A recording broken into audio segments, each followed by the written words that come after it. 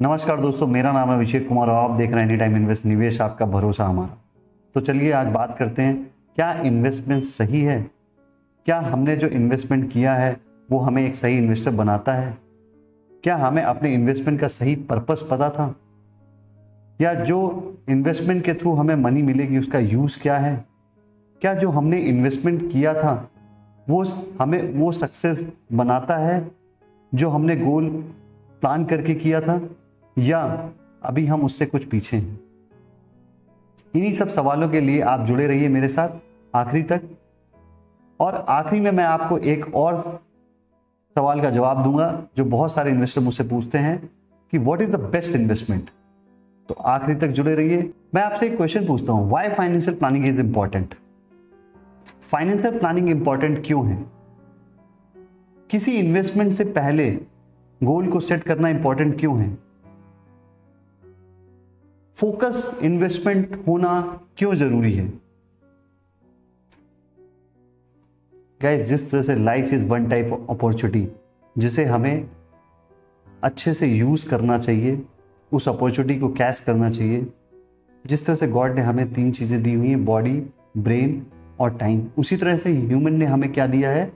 Money money एक resource है। इसी तरह से financial planning not only for financial planning it is life planning जिस तरह से नेचर में फाइव एलिमेंट्स होते हैं एयर वाटर फायर अर्थ और स्काई उसी तरह फाइनेंस में भी फाइव एलिमेंट्स होते हैं. इनकम लाइबिलिटी एसेट्स एक्सपेंसेस और कैश फ्लो फाइनेंशियल प्लानिंग क्यों इंपॉर्टेंट है? किसी भी इन्वेस्टमेंट से पहले उसका रीज़न है कि मार्केट में बहुत सारे एक्सपर्ट्स हैं। हर सेगमेंट में, हर फ़ील्ड में अलग अलग एक्सपर्ट्स आपको मिलते हैं। जैसे इंश्योरेंस एजेंट इंश्योरेंस में आपको सजेस्ट करते हैं एक्सपर्ट मिलते हैं उसमें। Mutual fund expert mutual fund में। इक्विटी एक्सपर्ट इक्विटी में। कमोडिटी एक्सपर्ट कमोडिटी में। करेंसी एक्सपर्ट करेंसी में। इसी तरह से बैंकिंग एक्सपर्ट्स बैंकिंग इंस्ट्रूमेंट जैसे लोन हुआ एफडी हुआ, इस पर आपको सजेस्ट करते हैं। बट वो आपको एक करेक्ट पिक्चर प्रोवाइड नहीं कर पाते और आपको सही गोल प्लानिंग में हेल्प नहीं कर पाते। इसलिए हमें इन्वेस्टमेंट से पहले एक फाइनेंशियल प्लानर की ज़रूरत होती है, जो प्रॉपर वे पे हमारी फाइनेंशियल प्लानिंग कर सके, हमारे गोल को सेट कर सके, जो हमें गाइड कर सके कि हमें कहाँ पे इन्वेस्टमेंट करना है किस इंस्ट्रूमेंट में कितना इन्वेस्टमेंट करना है, वो हमें सही तरीके से गाइड कर सके। क्या हमारे गोल्स होते हैं लाइफ के? जैसे एक मैरिड कपल के न्यूबॉर्न बेबी होता है तो उसकी एजुकेशन प्लानिंग उसकी मैरिज प्लानिंग करते हैं। तो मैरिज और एजुकेशन प्लानिंग हम क्या करते हैं? इन्वेस्टमेंट करते हैं कि हमें इन्वेस्टमेंट कर दिया, होगी प्लानिंग लेकिन ऐसे नहीं होता। उसके लिए हमें प्रॉपर पता होना चाहिए कि हमें कितना पैसा चाहिए उसकी एजुकेशन के लिए, कितना पैसा चाहिए उसकी मैरिज में इन्फ्लेशन रेट आज से क्या है और आने वाले टाइम पे क्या बढ़ेगी? आज एक लाख रुपए की जो वैल्यू है, वो आने वाले टाइम पे एक लाख रुपए की वैल्यू क्या रह जाएगी? तो ये सब सोच के हमें चाइल्ड की प्लानिंग करनी चाहिए। इसी तरह से रिटायरमेंट प्लानिंग है।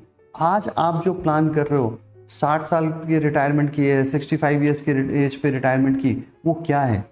उसमें उस टाइम पे आपका गोल क्या है? कितना पैसा चाहिए? और उस पैसे की वैल्यू उस टाइम पे क्या होगी? इसी के साथ साथ हम हाउस प्लानिंग भी करते हैं वेकेशन प्लान भी करते हैं अदर्स प्लानिंग भी करते हैं तो वो हमें प्लान करके इन्वेस्टमेंट करना चाहिए जो हमारे गोल को फुलफिल करे। एक फाइनेंशियल प्लानिंग में कंप्लीट थ्री थिंग्स होती हैं लिक्विडिटी सेफ्टी और ईल्ड ये तीनों इंपॉर्टेंट फैक्टर हैं जो देख के, समझ के आपको फाइनेंशियल प्लानिंग गोल सेट करना चाहिए, उसी के हिसाब से आपने जो फाइनेंशियल प्लान किया है, उसी के हिसाब से आपको इन्वेस्टमेंट करना चाहिए। और इन्वेस्टमेंट में आपको ये चीज़ ज़रूर ध्यान देनी चाहिए कि आपको एक फोकस इन्वेस्टर बनना है। Focus investor in the sense आपको टाइम टू टाइम इन्वेस्टमेंट रखना है। मैं एक एग्जांपल देना चाहता हूँ। मार्केट में आपको बहुत सारे फाइनेंशियल एक्सपर्ट मिलते हैं जो आपको फाइनेंशियल सजेशन देते हैं। इंश्योरेंस एक्सपर्ट आपको इंश्योरेंस के बारे में गाइड करता है। म्यूचुअल फंड एक्सपर्ट आपको म्यूचुअल फंड में। Some of equity some of FD and some of आपको बैंकिंग इंस्ट्रूमेंट बट ये आपको कंप्लीट सोल्यूशन नहीं दे पाते फाइनेंशियल प्लानिंग के लिए, क्योंकि ये अपने फ़ील्ड के एक्सपर्ट हैं। तो इसी तरह से हमें फाइनेंशियल प्लानिंग करनी बहुत ज़रूरी है एक इन्वेस्टमेंट से पहले। जिस तरह से मैं आपको एक एग्जांपल देता हूँ। हम एप्पल खाते हैं। अगर हम पूरे दिन केवल एप्पल खाएँ या हफ़्ते भर एप्पल खाएँ और कुछ भी ना खाएँ तो क्या हमारे शरीर को जो न्यूट्रिशन की रिक्वायरमेंट है, वो एप्पल फुलफिल कर पाएगा? नहीं कर पाएगा। हमें कंप्लीट फ़ूड चाहिए, जिसमें mineral vitamin fibres calcium etcetera सब चीज़ें हों। कंप्लीट फ़ूड हो। इसी तरह से फाइनेंशियल प्लानिंग उतनी ही ज़रूरी है इन्वेस्टमेंट के लिए, जितना हमारे फ़ूड में कंप्लीट फ़ूड होने की। तो आपने मुझसे क्वेश्चन पूछा था कि what is the best investment तो as per my way mix investment is the best investment not a standard in mix investment only for mix investment is the best investment तो आई होप आप लोगों को video सही लगा होगा।